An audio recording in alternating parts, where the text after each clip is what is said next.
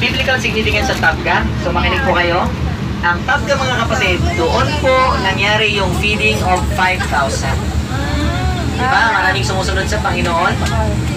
Nakita ko sa inyo kanina sa Sea of Galilee, di ba yung napagod siya, nakatulog siya doon sa boat nang magkaroon ng storm? Isa sa mga reason na napagod siya kasi nga ang daming tao na sumusunod-sunod sa kanya. Mag, ano, tapos yung pinakain niya. So actually yung 5,000 na yun mga kapatid, only men. Di pa po kasama yung asawa, yung mga anak. So sabi nila more, mostly nasa 20 to 25,000 na tao ang sumusunod sa Panginoon. So sa tabga mga kapatid, Diyan, ah, pinakain ng Panginoon sa pamamagitan ng ilang isda. Ito. Dalawa. Ito para sa ano? Five loaves of bread and two fish. fish, mga kapatid. At yung isda na yun, sabi ng mga scholars, sardinas pa na isda. Nakita na yung sardinas, yung parang tuyo. Pero imagine how this uh, loaf of bread and fish na dala lang ng bata na pinabaon sa kanya ng nanay niya. When Jesus prayed for it, He multiplied it mga kapatid and ang dami pang naiwan. Sabi niya may naiwan na 12 basket full mga kapatid. So how it is possible? It's miracle. So if you are, if you have Jesus, magkapit ka sa Panginoon, makikita mo talaga yung miracle sa buhay mo, yung mga changes mga kapatid. At syempre dyan din po sa tab guys, isa nangyari, dyan po yung tinatawag na makikita niyo yung ah, the Church of Supremacy of Saint Peter. Bakit po? Di ba? Sino po si Peter?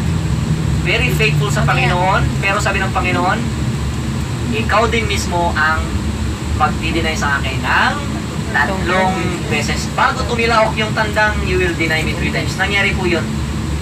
So nung mamatay yung Panginoon doon sa Jerusalem, ano nangyari? Nagbalik sila sa dati nilang trabaho dito po sa Galilee kasi si Peter ay isang fisherman. So, nag, nag, bumalik sila sa pagiging fisherman. So, later on mga kapatid, nandiyan nagpakita yung Panginoon kay Peter. Nagluto siya ng ulam, di ba, ng isda na. Nakita nila si Peter, sabi niya, they caught nothing for overnight. Tapos meron sila nakita tao sa seashore, sabi niya, you, ila, ila, ilatag niyo yung lambat niyo sa kanan. So, hindi nila makilala si Jesus kasi nga, kala nila patay na eh. So, sabi niya, okay, dahil sa command mo, we will lay down. O maki, ano nila mga kapatid, they caught almost 150 fish na malalaki. So, immediately, nung makita ito yung ng miracle ni Peter, alam na niya si Jesus siya. Kaya, tum, ah, lumusong siya sa kanyang bangka, talagang tumalon siya at pinuntahan niya yung Panginoon. At doon sa church na yun, napakikita natin yung supremacy. Yung bato na yun, doon daw nagluto yung Panginoon at doon tinanong ng Panginoon si Peter again, Do you love me? Di ba? Kasi nga, nung lumayo siya sa Panginoon, so, tinanong niya rin ang tatlong beses, mga kapatid. Peter, do you love me more than this? Sabi ni Peter, Lord, I love you. Kung mahal mo ako, feed my sheep. So, yung sheep doon, yung mga anak ko. So, tapos inulit naman, do you love me?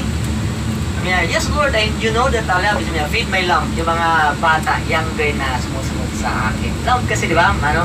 So, pangatlo mga kapatid, sabi niya, do you love me, Peter?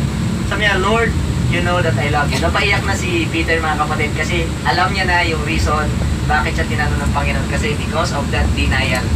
No? Kaya dito binigyan ng chance mga kapatid yung Pangin ng Panginoon si Peter to recommit his life to follow the Lord.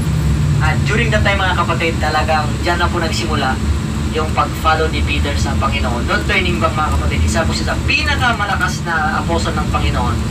Paano siya namatay? He was being crucified upside down mga kapatid. Actually, kung crucify sana siya kagaya ng Panginoon, pero sabi niya, I am not worthy to be crucified like that. So please crucify me upside down. So talagang they die, ala lahat po ng mga apostles, disciples, they die as a martyr mga kapatid. Si John the Baptist yung nag, nag-baptize kay Jesus, he was being beheaded. So andito na tayo mga kapatid. Okay na ba kayo? Ready na? So please, sumunod ulit kayo sa akin. 30 minutes lang po tayo.